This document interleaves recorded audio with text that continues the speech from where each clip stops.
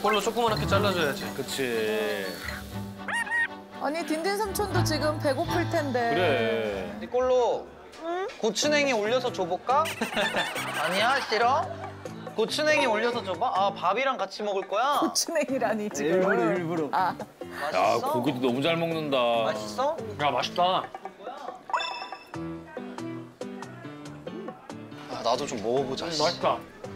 야 잠깐만. 아유 야야 미역국 다 먹었네. 얘 미역국 다 먹었어. 많이 배고팠구나. 진짜 엄마들이 애 키우다가 나중에 애 밥 다 먹이고 얘 잘 때 그냥 밥 아무 그러니까. 양푼 비벼서 먹잖아. 김치에다가 밥만 먹잖아 물에다가. 그럴 수밖에 없어. 먹을 시간이 없다니까 얘 먹여야 되는데. 대충 먹게 될 수밖에 없어요. 맞아요. 대충 먹지 뭐. 다 먹었어. 다 먹었어? 네. 배불러?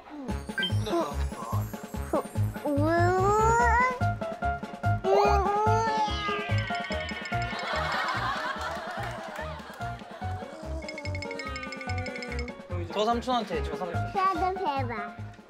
연기자야. 네? 연기하는 사람이야. 진짜 죽는 거 보여줄게. 진짜 죽는 거 보여줄게. 제 모든 것을 없애셨습니다. 너를 살리고자 한 것이다. 어떻게 그게 저를 살리고자 한 것입니까? 창피하고 부끄러워 그리하셨습니까? 보자.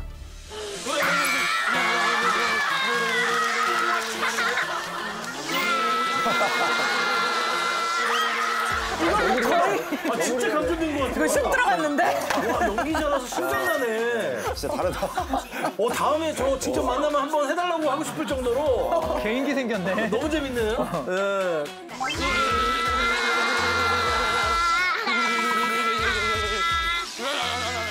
야 명품 연기를 여기 슈돌에서 만나게 되네요.